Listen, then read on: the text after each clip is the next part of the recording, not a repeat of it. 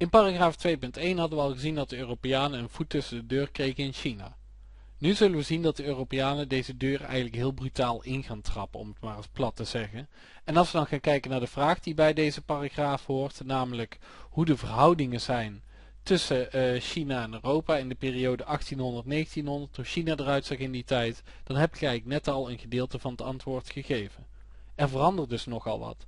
En dat komt dit keer niet door zaken die er in China zelf veranderen, want daar verandert namelijk niet zoveel, maar juist in Europa is er een grote modernisatie aan de gang.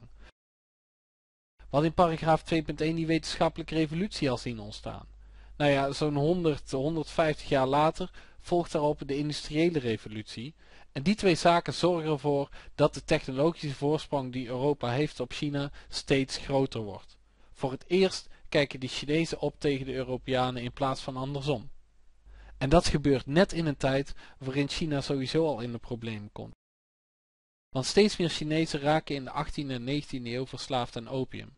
Opium is, uh, komt van de papaverplant af. Is eigenlijk hetzelfde spul als waar ook heroïne van gemaakt wordt. Dus dan heb je een beetje een idee waar ik het over heb. Niet echt bepaald gezellig uh, spul om het zo maar te zeggen. En die opium die was door de Portugezen geïntroduceerd in China, maar die werd vooral door de Engelsen China binnengesmokkeld. Opium was namelijk verboden, maar toch zorgden de Europeanen ervoor dat via die haven van Canton opium naar China gebracht werd. En die smokkel, daar verdienden de Europeanen heel veel geld aan, met name de Engelsen deden dat. En ja, dat zorgt er ook voor dat uh, vanaf 1800 de handelsbalans voor China ten opzichte van Europa voor het eerst negatief wordt. Hieronder zie je hoe de situatie eerst was. Er ging veel meer Europees geld naar China dan dat er Chinees geld ging naar Europa. Oftewel, China verdiende voor 1800 veel meer aan Europa dan andersom. Maar door die opiumhandel zie je de handelsbalans dus omslaan. En dan zie je ineens dat China veel meer geld aan Europa gaat geven. En dat is ook voor het eerst in de geschiedenis dat dat gebeurt. We zitten in deze paragraaf dus op een omslagpunt. Nou wat is de reactie erop van de Chinezen? Ja, je kunt raden, die zijn radeloos. De keizers die willen er iets aan doen, die, die Qing-keizers. En de Chinese keizer die laat in 1839 dan ook uh, ruim 20.000 kisten opium vernietigen. En uh, ja, de Engelsen die zijn er woedend over. En dat leidt tot de eerste opiumoorlog, die drie jaar zal duren. En ja, eigenlijk staat vanaf begin af aan al vast wie die oorlog gaat winnen.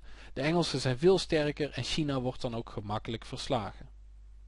Uiteindelijk wordt er in 1842 vrede getekend tussen de Chinezen en de Engelsen.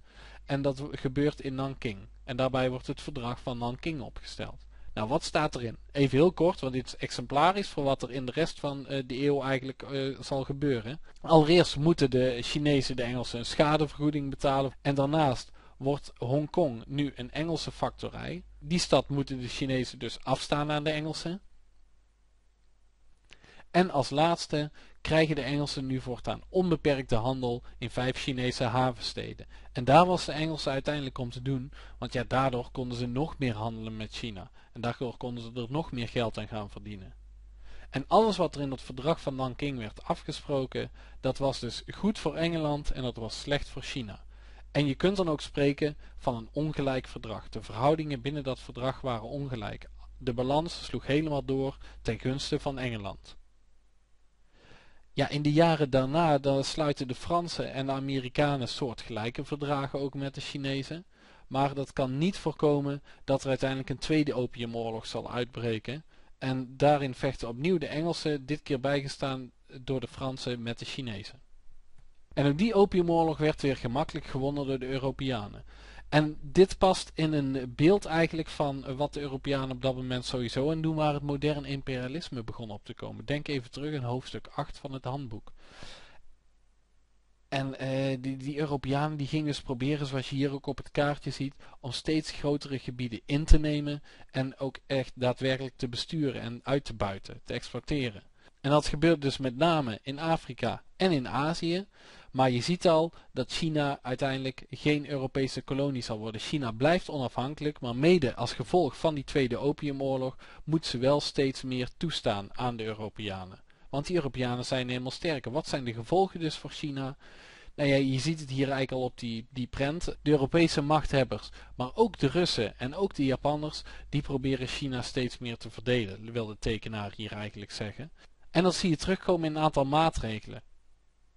Ten eerste komen er zogenaamde verdragshavens. Een Chinese haven die volgens een verdrag open is gesteld voor buitenlanders. Eerst was dat dus alleen Kanton. Nou ja, we zagen net al bij het verdrag van Nanking dat de Engelsen toegang kregen tot vijf andere havens.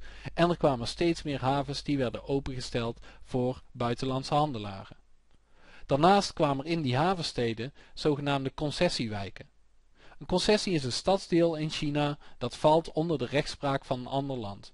Zo, kreeg, zo was er bijvoorbeeld een Engelse concessie in Canton en daar waren dus een, een Engelse wijk eigenlijk. En daar waren dus niet de Chinezen de baas, maar daar gold het Engelse recht, daar gold de Engelse wet. En zo kregen de Europeanen de zogenaamde exterritoriale rechten. Rechten van een land die ook gelden in een ander land.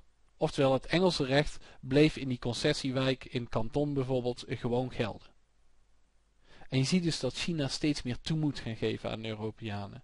En door die technologische voorsprong die de Europeanen nu hebben, uh, ja, moet China steeds meer slikken. En dan is de vraag, wat doe je eraan? Wat gaan de Chinezen daaraan doen? En er komt heel veel discussie op gang in China over modernisering.